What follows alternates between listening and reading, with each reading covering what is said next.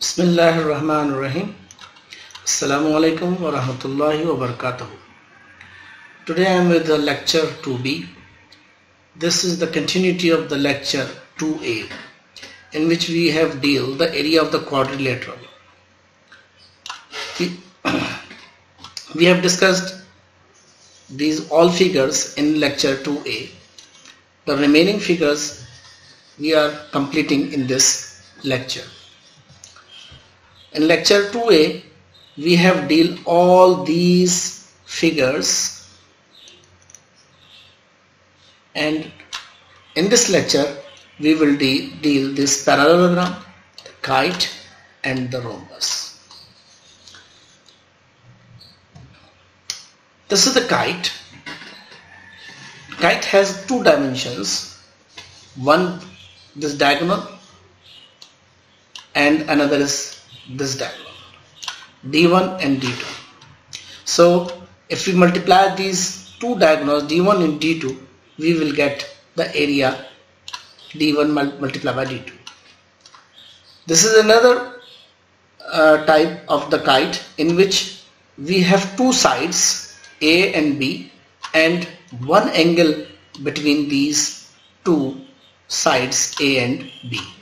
And the area is a into b sine angle c.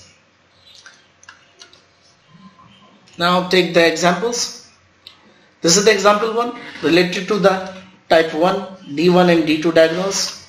For example, if you have a diagonal d1 15 meter and d2 29 meter, then we applying the formula a1 is equal to d1 into d2 and we are getting the result 435 square meter.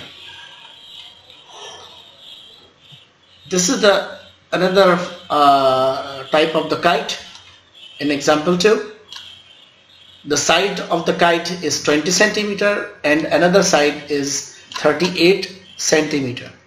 And the angle between them is 65 degree.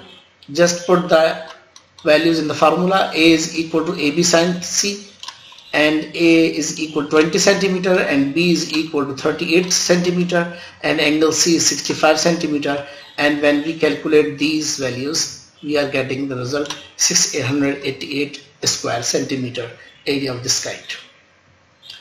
The another figure is the parallelogram. For the parallelogram, the formula for area is base into height. This is the base of the parallelogram and this is the another side of the parallelogram. And this is the height between these two parallel sides and when we multiply this base and height we will get the area of the parallelogram. Example, find the area of, for base 240 inches and height 80 inches. The area is 240 multiplied by 80 and you are getting the result 9200 square inches as a result.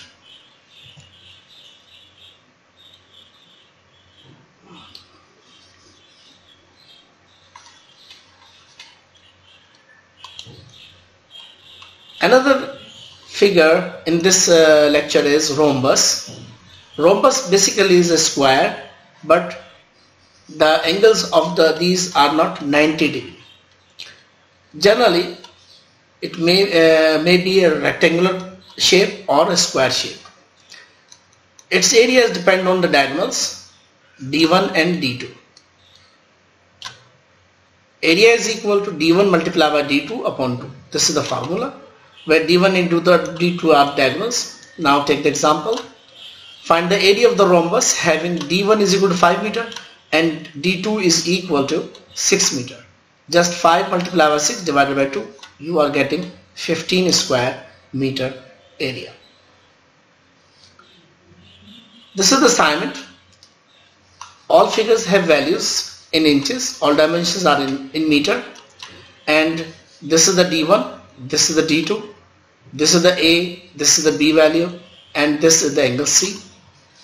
Here D1 is equal to 15 and D2 is equal to 20. Height is equal to 15 and base is equal to 35. You can calculate all these areas easily by watching this lecture uh, and uh, do this assignment. Thank you very much. Assalamu alaikum wa rahmatullahi wa barakatuh.